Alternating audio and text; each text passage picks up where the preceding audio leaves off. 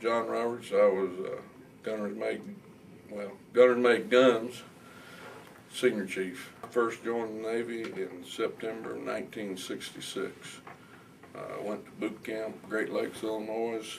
I arrived, if I remember right, it was December 26th, the day after Christmas, 1966.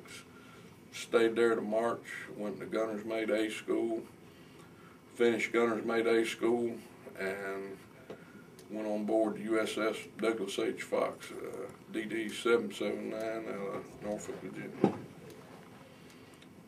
Uh, some of the highlights on that, uh, we, when I went on, when I went on board the Fox, I think three days later, we were underway for the Med. Three, four, five days later, made a Mediterranean cruise, came back, we were on the next scheduled run to go to, for our next major cruise was going to be Vietnam Westpac cruise. Uh, we went on Operation Springboard down the Caribbean, all over the Caribbean. Came back from that uh, sometime right along them when we were preparing to go to Vietnam. The we there was a hurricane. They put all the ships to sea as they do we left Norfolk. They called us in, went to sea, and after we had gotten to sea, they told us that the United States was missing a submarine, which was a USS Scorpion. Um, we ended up, we were supposed to be out for three days. And of course, I was uh, at that time about a third class. And everybody had just grabbed the ones that had wives in Norfolk, just grabbed clothes and went on expecting to be at sea for three days. Well, I think it was about two or three months later when we got back. And there was a bunch of mad wives.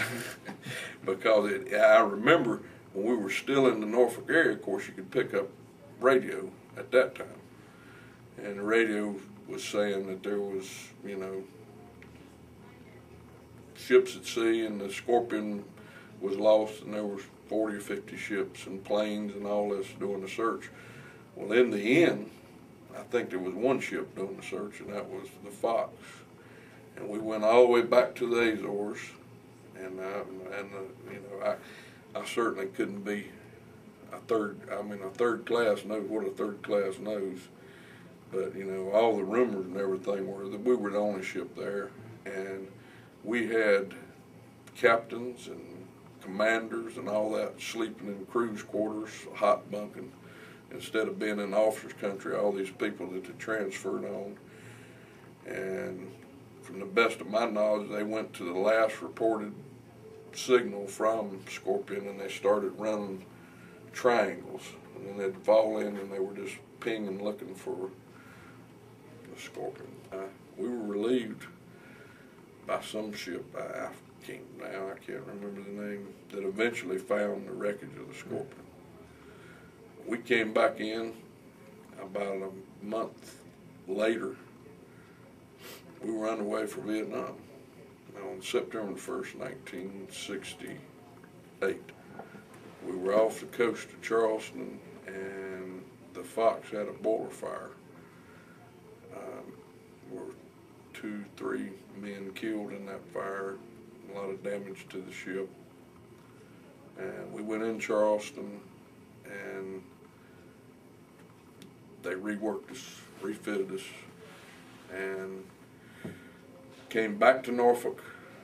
And then in December, I don't remember the December of '68, we we went to Vietnam.